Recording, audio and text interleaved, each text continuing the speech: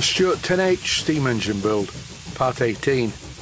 Dismantling the engine completely to remove all traces of oil ready for painting, using a tub of cellulose thinners. I keep it away from the silicone piston ring which could be damaged. The flywheel needed some more fettling and finally it is ready for paint. Here's a shot of the engine before I took it apart and I think you will agree that the inlet and exhaust pipes match each other quite well. A quick run before I dismantle it, just in case it doesn't go back together properly. I didn't notice this until I saw this video clip. The gudgeon pin is working loose. Note to self, when I finally fit this, I will need to use some nut lock in this area to hold the gudgeon pin firmly in place. You may also notice in this clip that I've shortened the crankshaft at the flywheel end and it looks a lot better. Here we go then, it's dismantling time and this is exactly the opposite of assembly. I'm using the socket on the end of a socket screwdriver to remove all the 7BA nuts. Here's a close-up of the gudgeon pin and you can see how loose it was. I'm just tightening this so it doesn't fall out. The next thing to go is the pin that holds the eccentric rod to the valve fork. I'm putting all these small parts in the cardboard box. Here's the cylinder complete with this gasket. I'm going to leave the gasket in place. It won't be attacked by the cellulose thinners and it's fine. And here, once again, I'm removing the 7BA nuts that hold the steam chest cover in place. I will need to make some new gaskets for this because the gaskets that I showed me making in the previous episode didn't quite work out as I planned. When I trimmed the external part of the gasket with the Stanley knife, it seemed to get a lot smaller. It's easy enough to make a couple more. I won't bother showing this because I have shown it previously. This clip shows me using my trusty Bahco spanner to slacken off the exhaust pipe underneath. I fitted the adapter union using some thread lock into the main casting. So it was the elbow that came away from that rather than the entire assembly coming out of the engine. Time now, using once again the circlip pliers, I remove the piston. I need to do it for two reasons. One is to release it from the crosshead, and I don't want the cellulose thinners that I'm about to use to contact the piston ring, because it may damage the silicone rubber piston ring. Now I can easily remove the gland plate, and I'm going to have a quick look at the gland. I don't think it's tight enough. I tried the piston back in it and tightened it up, but there was a slight problem with it. Where the thread meets the main shaft was a little bit rough, and I'm removing the burr using a needle file. In this clip I'm slackening off the grub screw using a 1 16th Imperial Allen key.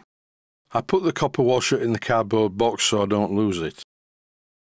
I don't need to fully dismantle the crankshaft, the eccentric can stay in place.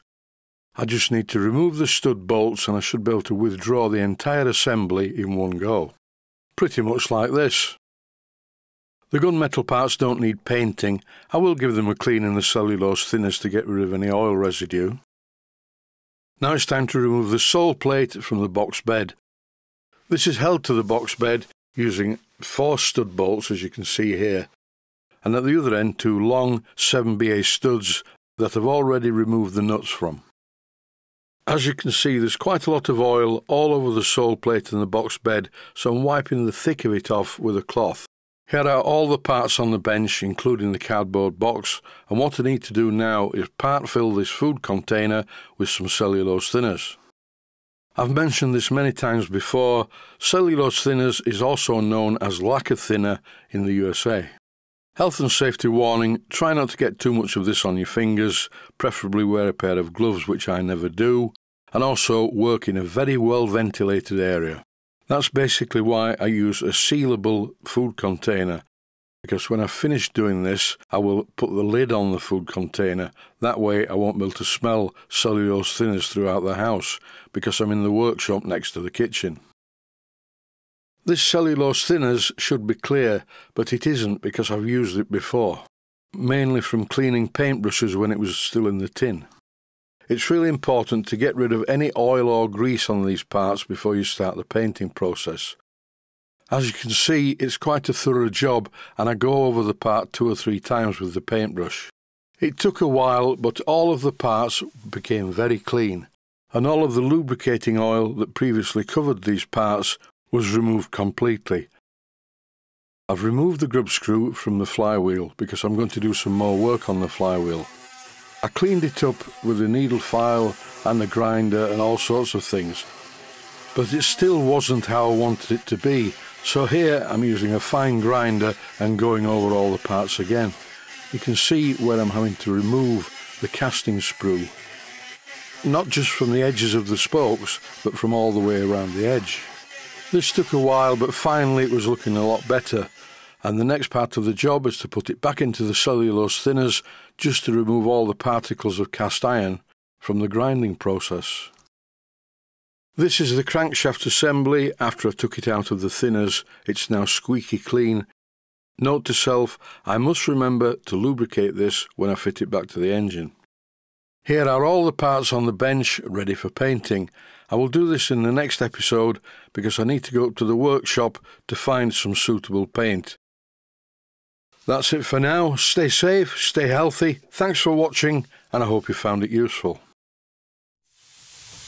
Please take the time to visit my Mainsteam Models website and click on the section of the website that says Video Playlists. And by doing that, you can find other videos that you may like to watch.